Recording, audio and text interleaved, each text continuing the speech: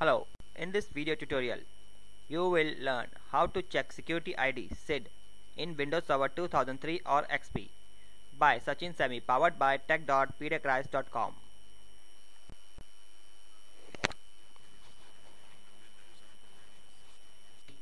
Okay, this is a Windows Server 2003 computer in which I'm going I'm logging in as an administrator.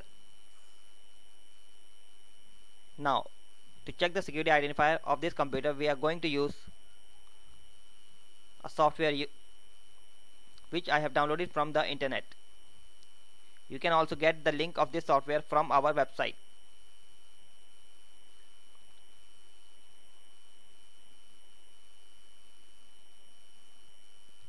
Okay, we are going to use this software ps getsid.exe.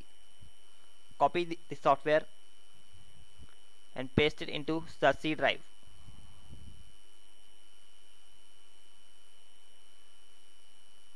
After pasting it into C drive, go to start, click on run and type cmd cmd to open the command prompt. After opening the command prompt, go to C drive cd slash now type ps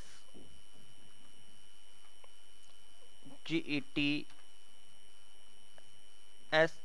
sid click enter.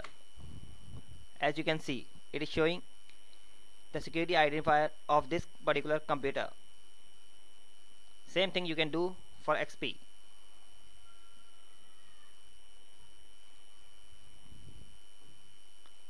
as you can see thank you for watching our this tutorial. For more information visit our website tech.pdacrise.com thank you for watching